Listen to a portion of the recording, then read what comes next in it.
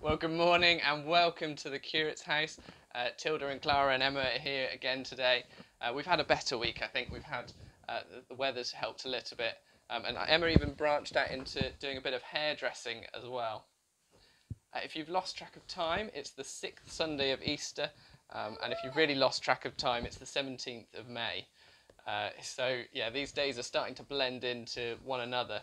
Um, but it's lovely to be together. Uh, so please do share these videos. I don't know about you, but um, actually, it's never been easier to share that hope that we have uh, through Christ. Um, so actually, if you if you do want to just uh, send it to somebody who does need um, maybe a bit of encouragement, um, please do feel free to. If you are joining us for the first time, you're going to need a few things. Probably not cuddly toys, but you will need some bread and you will need some juice. Um, and we also light a candle to remind ourselves that we're all joined together um, through the light of Christ. Um, and one other thing, as we're getting more used to the technology, uh, more people have been able to join in. Andrew has very kindly produced another hymn uh, for us, so we'll be singing that later in the service. Um, and our young people have been sending in pictures of uh, the Holy Spirit, which is what we're looking at in our gospel reading. Um, and so we're going to be using those in our prayers. And I'm very impressed. The Ignite Youth Group has recorded themselves filming the uh, gospel reading. So we are really grateful for them. A very brave thing to do. Should we light our candle and uh, prepare ourselves for the service together?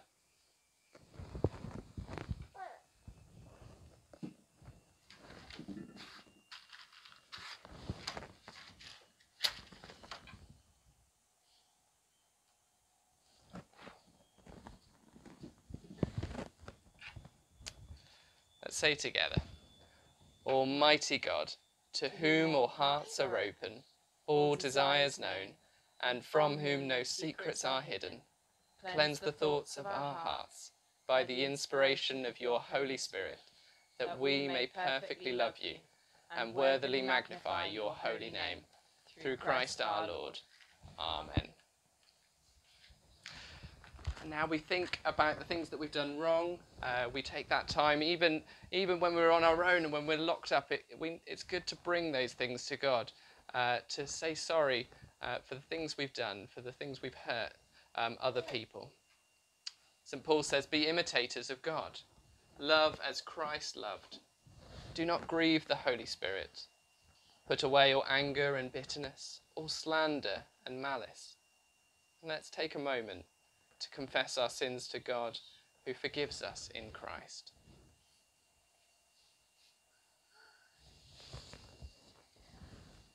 And we say together, Father eternal, giver of light and grace, we have sinned against you and against our neighbour in what we have thought, in what we have said and done, through ignorance, through weakness, through our own deliberate fault. We have wounded your love and marred your image in us. We are sorry and ashamed and repent of all our sins. For the sake of your Son, Jesus Christ, who died for us, forgive us all that is past and lead us from darkness to walk as children of light. Amen. We might have to take the candle away in a bit, but let's uh, remind ourselves that we are forgiven people, uh, that through God, through Christ's sacrifice on the cross, we are forgiven and made friends with God again.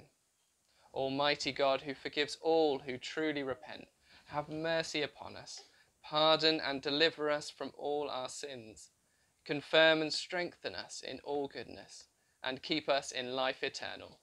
Through Jesus Christ our Lord. Amen. Now I'm going to hand over to Donna uh, and some of our Ignite members of the youth group uh, for our gospel reading. The Gospel reading is from John chapter 14, verses 17 to 21. If you love me, show it by doing what I've told you. But you know him already, because he has been staying with you and will even live with you. The godless soul can't take him in because it doesn't have eyes to see him. It doesn't know what to look for. I will talk to the Father, and he will provide you with another friend, so that you will always have someone with you. This friend is the Spirit of truth. I will not leave you orphaned, I'm coming back. In just a little while, the world will no longer see me, but you will see me, because I am alive, and you're about to come alive. At that moment, you will know absolutely that I'm in my Father, and you're in me, and I'm in you. The person who knows my commandments and keeps them, that's who loves me. And the person who loves me will be loved by my Father, and I will love him and make myself known to him. This is the word of the Lord. Thanks be to God. Thank you to our Ignite Youth Group for uh, for reading our gospel passage. Um, thank you so much. Uh, not easy being behind the camera, but I'm really glad you've done that, and just lovely to see uh, so many of our uh, friendly faces that we miss um, seeing. I don't know about you, but are you confused at the moment um, by the uh, the new "Stay Alert" message? Um, that seemed to be a bit of a backlash that came out uh, when that when that was revealed. Uh, a lot of people wanted to to stay with the "Stay at Home." Um, I, think we like certainty. The the "Stay Alert" message feels very vague, very woolly. That seems to be uh, some of the opinions that are coming out. Our um our gospel passage this morning um, has a change of rules for our disciples. Um, they've been growing up. They've grown up with this idea that you go to Jerusalem to uh, to pray, to to make your sacrifices, to be forgiven for your sins, um, and uh, the rules are very simple. It's the Ten Commandments, and if you need to clarify any more, then you go and chat with the priests, and they'll help you work out what the right thing to do that will please God um, is. And then Jesus turns up, uh, and he sort of he doesn't really tear the rule book up, but he can he suddenly changes it to one rule: uh, follow me. Um, and the disciples quite enjoyed this. He's they're going around, and, and the Pharisees will tell Jesus off, and somehow Jesus ties them up in knots um, with their own rules. Um, he's above them, but yet he fulfills them. And just as they're getting used to this, he then says, I'm off. Um, and you can imagine the, the disappointment of them feeling this that are we going back to the old way now? Are we back to uh, going back to the temple, back to uh, this this this sort of relying on the priests and that that sort of God's over there, or what do we just? How do we follow you now, Jesus? And instead, he says, "Don't worry, I'm not leaving you as an orphan, I'm not leaving you on your own." I'm sending somebody else, uh, an advocate, somebody who works on your behalf. Um, he knows your needs. He will comfort you. He will challenge you. He will guide you through those dark valleys and across oceans. Um, but just one thing, and it's the same thing I've asked of you trust and obey. I don't know which is more vague? Uh, stay alert or trust and obey? Trust and obey could mean anything really. Like you really have to rely on that person that is is going to be the not tell you to do anything stupid or that's going to hurt you. Um, trust and obey sounds sounds good if you trust that person, but um, I don't know if I if, if even if even with Jez, if Jez said trust and obey Tom, um, some things I might go oh. Uh, not sure if I can obey everything, but with uh, the Holy Spirit, can we fully trust and obey? Although the, the stay at home message, um, many people said, was really clear, um, I did think there were a lot of exceptions. Stay home, uh, except if you're a care worker, uh, or a nurse, or a doctor. Stay home, um, except if you work in a supermarket, or for the government, stay home, um, except if you are a bin man or a teacher. The list actually goes on. Uh, bus drivers, uh, transport. There's so many roles that uh, the people um, have been needed to be in um, that actually, for many people, stay at home wasn't a reality for them. I've had some very um, difficult phone calls with people who are really worried because they aren't able to stay at home and uh, they've got to go to work to to help um, keep people um, fed, keep people healthy. Um, it's not possible for them. sadly, there isn't one rule that fits all as much as we'd like it to be. Um, there's that really nice phrase that's been going around we're all in the same storm, but we're not in the same boat. We're all in the same storm, but we're not in the same boat. Wonder if that's why we like the idea of Jesus being around all the time. Um, surely it would be easier to believe and obey him if he was right there next to us, not having to search through the Bible or pray and, and really take time to, to, to uh, be guided, but uh, just have him there. Jesus, what's happening? Should I do this? Um, and yet, that's not the picture we get in the Bible. The picture of Jesus being around people is they're often quite confused. At the end of his parables, they go, We didn't get that. Um, when he, even though he's told them that he's going to, to die, that he's going to be taken away, uh, his disciples run off. They flee when he's arrested. Jesus knew that for many people, uh, to really love others and to love our neighbour, we needed God walking beside us the whole time. We can't just nip over to Jesus to ask him a question and then go back to our life. We need God all the time. We need him in the in the small things and the big things, comforting, guiding, challenging. I think only time will tell how people follow this new stay alert message and what the consequences will be. But we know the consequences of what happened when those scared disciples um, trusted the Holy Spirit, when they obeyed, because Christianity exploded. It spread across the globe, challenging injustice, championing the forgotten, uh, and giving courage to a fearful uh, people. So we continue that legacy.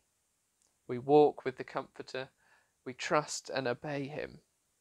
And even when we're unsure where we're going, we experience that true peace true joy, and true change. I don't know how you feel about those words, um, but Andrew has very kindly again uh, recorded uh, one of our uh, St Mary's classics, uh, Trust and Obey. Um, and I couldn't think of a better song to reflect on those words um, in John. What does it mean to have somebody that we can trust and obey? That we can listen to, and be guided by, that we can navigate the difficulties of our own circumstances, sure of the person who we are following. So, Andrew is going to now play um, our hymn. Uh, do sing along or use it as a reflection to think about your own walk with God this morning.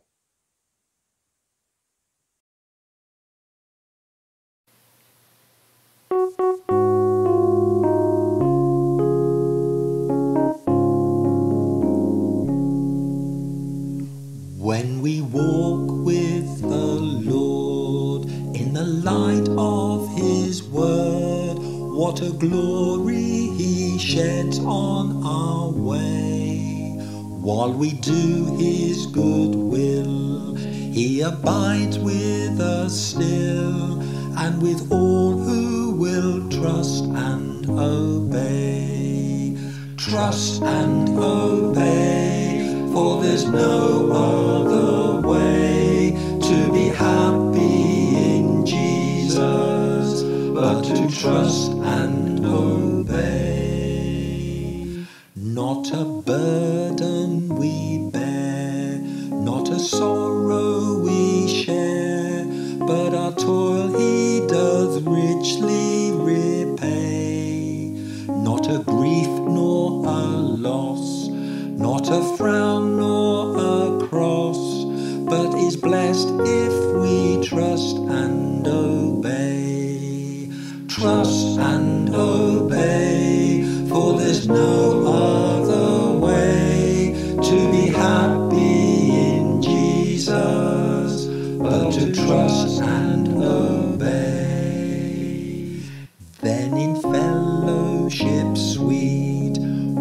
sit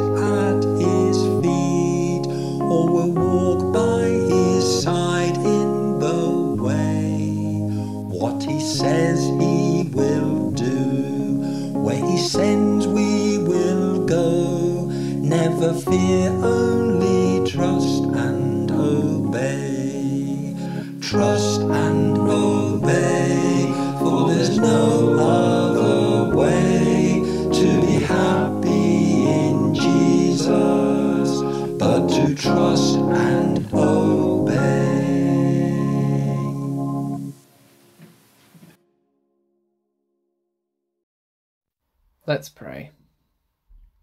Thank you, Father, that you did not leave us as orphans, but sent your Holy Spirit to guide and comfort us. Lord, as we trust and obey, hear our prayer.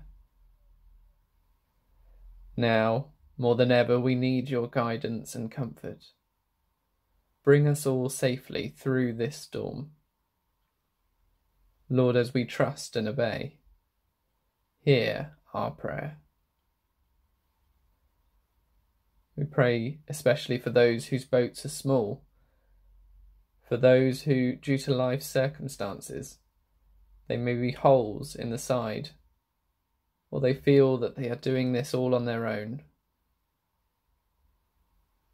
May your comfort and guidance be with them. And Lord, as we trust and obey, hear our prayer. And as we receive bread and wine, may we be filled with your Spirit.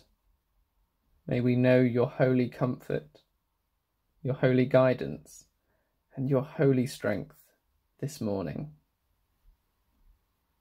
Lord, as we trust and obey, hear our prayer.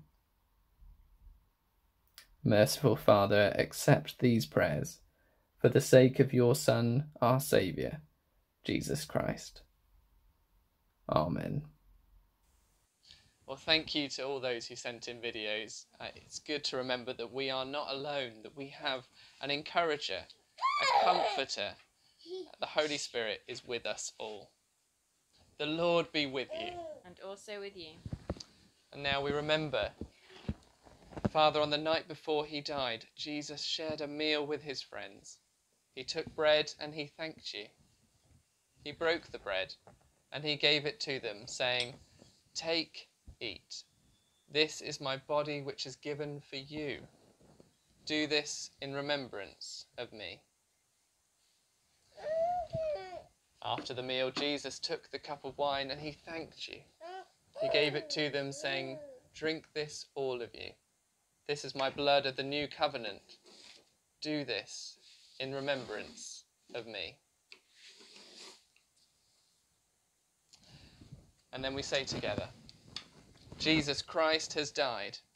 Jesus Christ has died. Jesus Christ is risen. Jesus Christ is risen. Jesus Christ will come again. Jesus Christ will come again.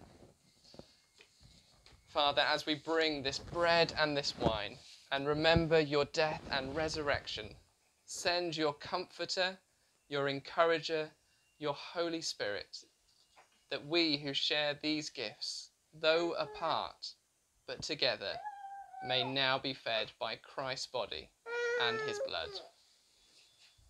Let's eat together. The body of Christ. The body of Christ. Body of Christ.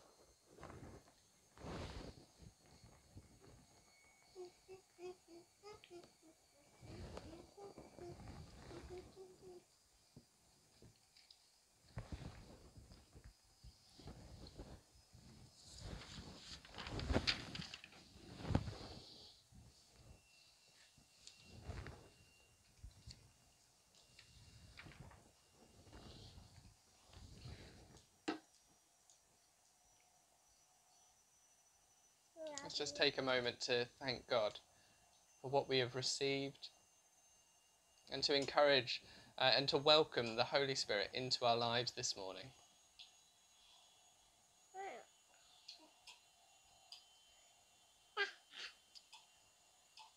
Let's say together the prayer which our, our Saviour has taught us.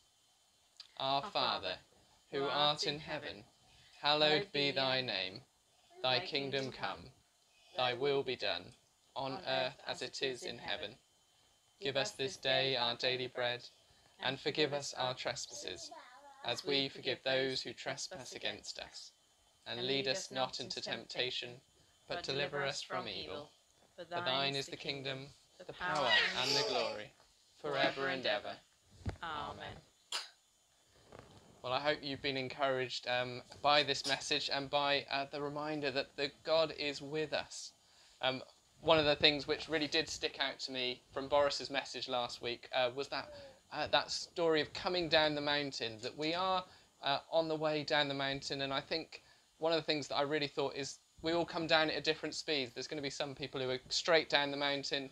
There'll be some people who um, take their time, um, and we'll be up there for quite a while. So I would just encourage us as a church to, to phone uh, to phone one person um, up and just encourage them and maybe pray beforehand and just say uh, ask God to give you some words of encouragement for that person. But may I finish now uh, with a prayer of blessing. The peace of God, which passes all understanding, keep your hearts and minds in the knowledge and love of God and of his Son Jesus Christ our Lord and the blessing of God Almighty, the Father, the Son, and the Holy Spirit be amongst you and remain with you always. Amen.